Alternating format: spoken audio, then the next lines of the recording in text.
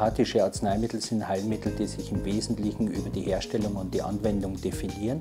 Es sind Arzneimittel, wo von einer Ausgangssubstanz, zum Beispiel einem verriebenen Arzneimittel oder von einer Pflanze ausgegangen wird und dann werden diese Arzneimittel jeweils durch Verdünnung im Zehner- oder Hunderter Schritt und anschließende Verschüttelung hergestellt. Von der Anwendung her ist ein homöopathisches Arzneimittel dadurch charakterisiert, dass es nach dem Ähnlichkeitsprinzip hergestellt wird. Zum Teil werden solche homöopathische Arzneimittel auch heute noch von Hand hergestellt. So unter Homöopathie verstehe ich alles, was nicht mit Schulmedizin zu tun hat. Alternative Heilmethoden im medizinischen Bereich. Naturheilmittel. Die Medikation mit natürlichen Produkten. Bei Kindern wird es häufig auch angewendet, bei Zahnbeschwerden zum Beispiel, diese Globuli.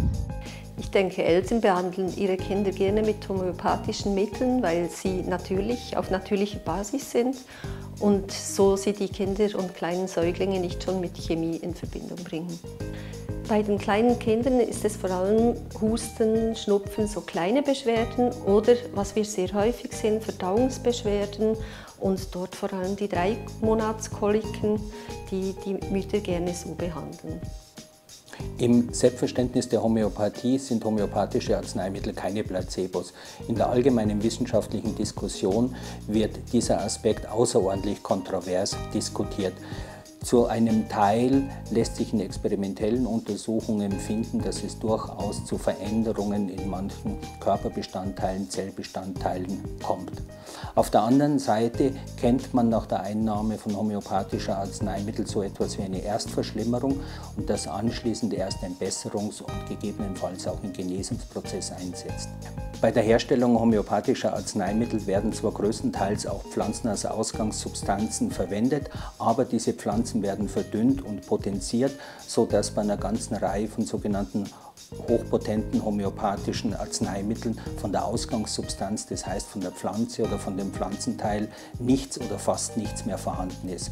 In der Phytotherapie, das heißt in der Pflanzenheilkunde dagegen, ist in den entsprechenden Arznei- und Heilmitteln immer ein wesentlicher Anteil der Bestandteile der jeweiligen Pflanze enthalten und die Wirkungen, die ausgeübt werden, lassen sich auf das Vielstoffgemisch zurückführen, das für die Phytotherapeutiker verwendet wird. Homöopathische Kombinationsarzneimittel sind Arzneimittel, in denen mehrere Komponenten aus unterschiedlichen Ausgangsstoffen, zum Teil auch in unterschiedlichen Potenzierungen zusammengestellt sind. Zum Beispiel eine ganze Reihe von Augentropfen, die unterschiedlich zusammengesetzt sind, je nachdem, welche Symptomatik von Brennen, Jucken, Müdigkeit und so weiter behandelt werden sollten.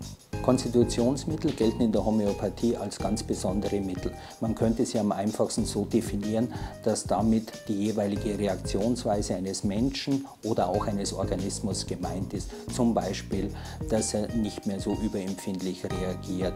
Ich selber habe sie auch schon ausprobiert bei Halsschmerzen, also für solche äh, kleinen, sage ich jetzt mal, Beschwerden. Wir nutzen es recht wenig, ähm, weil ich doch dann immer zum Kinderarzt gehe, wenn irgendwas ist, anstatt zu Hause selber was auszuprobieren. Wenn der Patient unsicher ist, ist es meines Erachtens auf jeden Fall sinnvoll, einen Apotheker oder Drogisten um Rat zu fragen, auch um Rat für die technischen Aspekte der Einnahme.